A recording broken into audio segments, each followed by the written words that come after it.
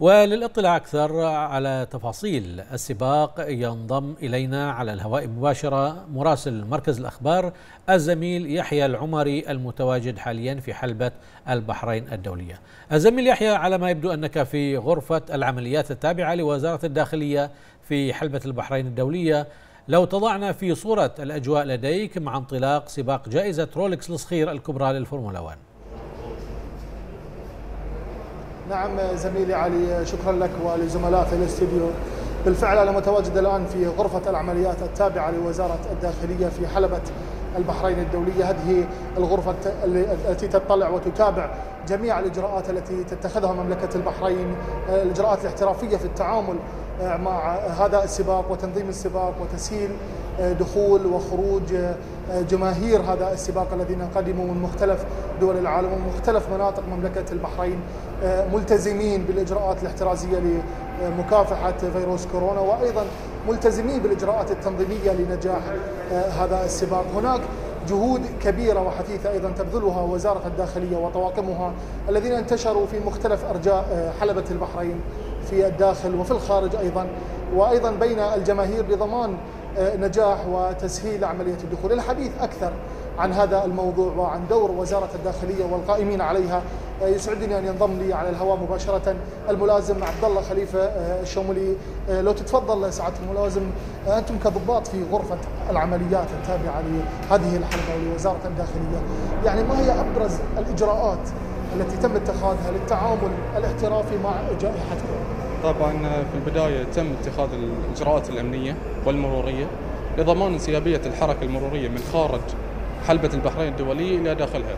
كذلك تم آه تم آه وضع شرطة المجتمع داخل حلبة البحرين الدولية لضمان التباعد الاجتماعي آه وتطبيق الإجراءات الاحترازية لمكافحة فيروس كورونا في مملكة البحرين.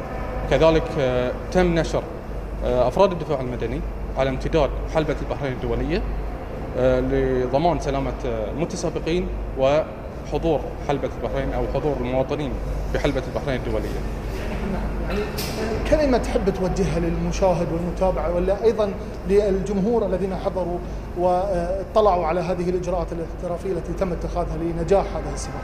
طبعا في البداية نحب نشكر سيدي سمو ولي العهد رئيس الوزراء على البادرة والفرصة الطيبة اللي قدمها لأبطال الصفوف الأمامية لحضور هاي السباق. كذلك نحب نشكر القادمين من خارج مملكة البحرين لحضور هاي الحلبة طبعا لحضور حلبة البحرين الدولية ونشكر المواطنين وشعب مملكة البحرين على الالتزام بالإجراءات الاحترازية لمكافحة فيروس كورونا. نعم الشكر لكم أيضا على جهودكم المميزة الملازم عبد الله خليفة شمولي إحنا شاكرين لكم هذه الجهود وأيضا لكم مشاهدينا الكرام على هذه المتابعة وللجمهور الذين بالفعل أثبتوا مدى الوعي والإدراك الذي تتفاخر به مملكة البحرين اليوم في نجاح مثل هذه المناسبات في ظل الظروف الاستثنائية التي تمر بها مملكة البحرين ودول العالم أيضا.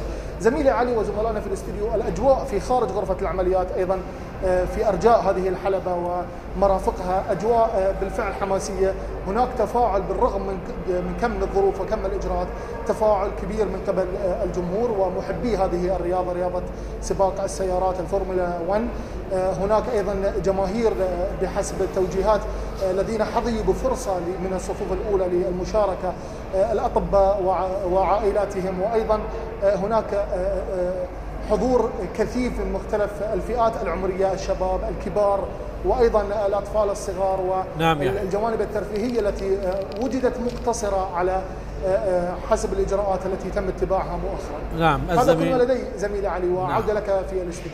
نعم الزميل يحيى العمري مراسل مركز الأخبار شكرا جزيلا لك.